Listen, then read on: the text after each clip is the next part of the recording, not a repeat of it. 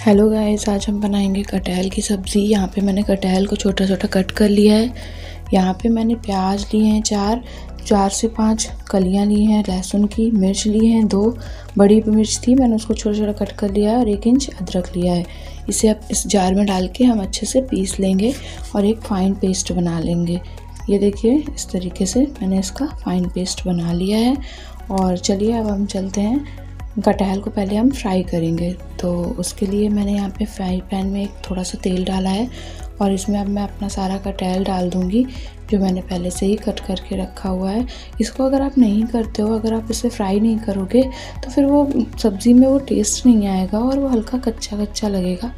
और हमारा कटहल जो है वो ना सही से पकेगा भी नहीं तो उसके लिए हम पहले इसको छील के ऐसे छोटा छोटा कट करके और फिर इस तरह तेल में डाल देंगे और फिर इसे अच्छे से फ्राई कर लेंगे। ये देखिए, ऐसे। बस ऐसे चलाते हुए इसे अच्छे से फ्राई कर लेंगे। देखिए, इस तरह।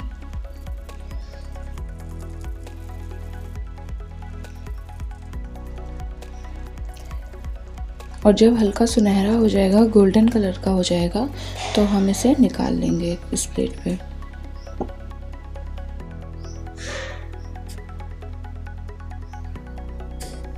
ये देखिए गाइस ऐसे चलाना है ऐसे, नहीं तो ये कढ़ाई में चिपकने लगेगा। बस ऐसे ही चलाते चलाते इसे अच्छे से फ्राई कर लेंगे।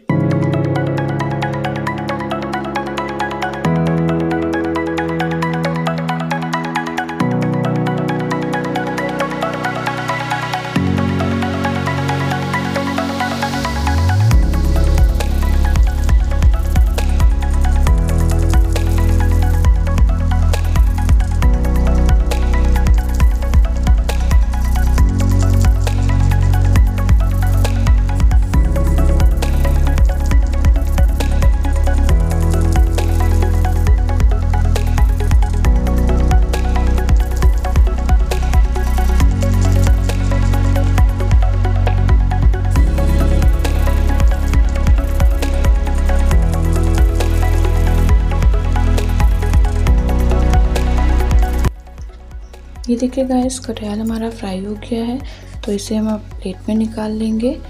और यहाँ पे मैंने उसे प्लेट में निकालने के बाद फ्राई पैन में थोड़ा सा तेल और ऐड कर लिया है। अब मैं इसमें एक चम्मच के करीब जीरा डाल दूँगी। और देखिए, जीरा हमारा पकने लगा है। इस स्टेज पे फिर मैं इसमें जो मैंने पेस्ट बनाया था ना, सारे लहसुन और प्याज और मिर्च और अदरक का, वो डाल दूँगी। ये देखिए, हमारा जीरा जैसे ही पक जाएगा, वैसे ही मैं इसमें सारा मसाला इसमें डाल दूँगी।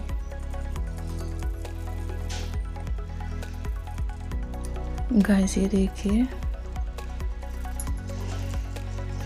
और अब मैं इसको इसमें ऐसे डाल दूँगी। और ऐसे चलाते हुए सारा मसाला मिक्स कर लेंगे।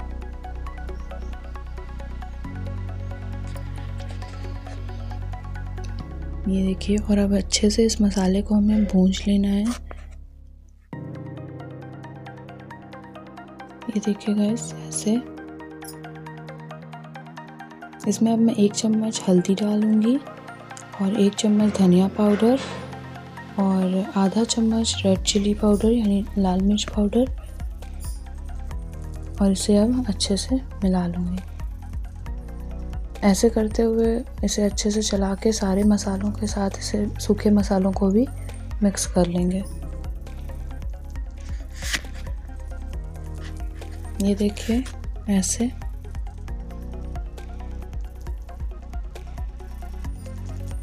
ध्यान रखें कि जो भी मसाला है वो आपकी कढ़ाई में या पैन में लगना नहीं चाहिए और इसे अच्छे से चलाते हुए, ऐसे आप इसमें भी पानी भी डाल सकते हो अगर जैसे आपका मसाला जलने लगे तो थोड़ा सा पानी डाल दो।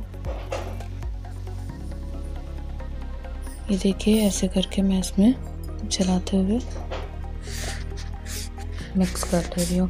फिर मैं इसमें एक चम्मच के करीब किचन किंग मसाला ऐड करूँगी। अगर आपको इसका फ्लेवर अच्छा नहीं लगता है तो आप इसकी जगह गरम मसाला भी ऐड कर सकते हैं। ये देखिए। फिर इसमें ऐसे मिक्स कर दूँगी इस मसाले को भी।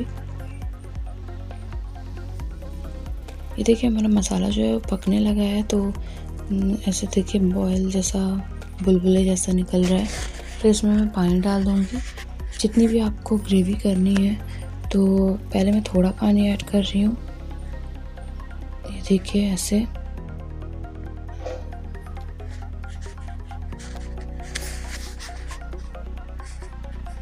इसे अच्छे से पूरे मसाले को और पानी को मिक्स कर लेंगे तो एक अच्छी सी ग्रेवी बनकर तैयार हो जाएगी। फिर मैं इसमें एक चम्मच नमक डाल रही हूँ। ये देखिए, और फिर नमक को अच्छे से मिक्स कर लूँगी इसमें।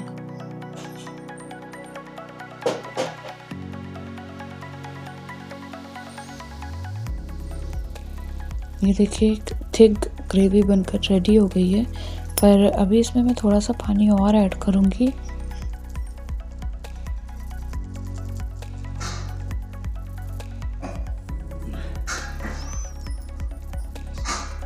ये देखिए। ये देखिए गाइस हमारी जो ग्रेवी है, उसमें उबाल आने लगा है। और इसी तरह फिर हम इसे पकने देंगे। और बाद में हम इसमें थोड़ा सा पानी ऐड करेंगे। जब ये अच्छे से अच्छे से पक जाएगा ना, उसके बाद। ये देखिए, इसमें मैंने पानी ऐड कर दिया है और आप अपने अकॉर्डिंग जितनी आपको ग्रेवी रखनी है, आप उतना पानी ऐड कर सकते हो, नो no डाउट। पर ज़्यादा पानी मत ऐड करिएगा, जिससे कि फिर वो बहुत ज़्यादा पतली हो जाएगी आपकी ग्रेवी। यहाँ पर फिर हम अपना कटहल ऐड कर देंगे और फिर उसे अच्छे से ग्रेवी के साथ मिक्स कर देंगे। ये देखिए ऐसे और इसे चलाते हुए अच्छे से मिक्स कर देंगे। ये देखिए ऐसे। और फिर हम इसको थोड़ी देर के लिए ढक देंगे, करीब 10 से 15 मिनट के लिए। हम इसे ढक कर पकाएँगे, क्योंकि कटहल जो होता है वो पकने में टाइम लेता है। और ये देखिए, हम इसको थोड़ी देर बाद चेक करते हैं। और ये हमारा ऊपर का तो पक ये देखिए गाइस ऐसे हम सारा जो मेरा, हमारा ग्रेवी है, उसमें कटहल मिला देंगे। फिर से, क्योंकि अभी कटहल पका नहीं है। कटहल पकने में टाइम लगता है। ऊपर का तो हमारा पक गया है, पर जो इसके अंदर का एक सीड होता है, वो अभी तक पका नहीं है। तो हम इसे फिर से ढक देंगे। अब करीब पाँच मिनट के लिए हम और ढक देंगे, फिर उसके बाद ये पक जाएगा। पाँच मिनट बाद देखिए, इसमें अच्छा एक उबाल आने लगा है और ये आई थिंक सारा पक गया है। तो जो कटहल का पीस है, उसे आप कट करके देख सकते हैं कि वो पका है कि नहीं पका है। और जो उसके अंदर का सीड है, जब वो आसानी से इजीली कट जाए तो समझ जाइए कि वो पक गया है। तो यहाँ पे मेरा कटहल जो है वो पक गया है। और ये देखिए, आपको मैं दिखाती हूँ पास से। ये देखिए ये देखिए, आसानी से इजली कट हो रहा है। तो अभी यह मेरा पक गया है तो उसमें मैं अपनी लास्ट इंग्रेडिएंट जो है वो ऐड कर दूँगी। और फिर उसके बाद मैं बंद कर दूँगी। तो यहाँ पे मैं यहाँ पे हरा धनिया ऐड कर रही हूँ। आप भी इस ग्रेवी पे हरा धनिया यहाँ पे, यहीं पे ऐड कीजिएगा। अदरवाइज़ वो फिर ब्लैक हो जाता है।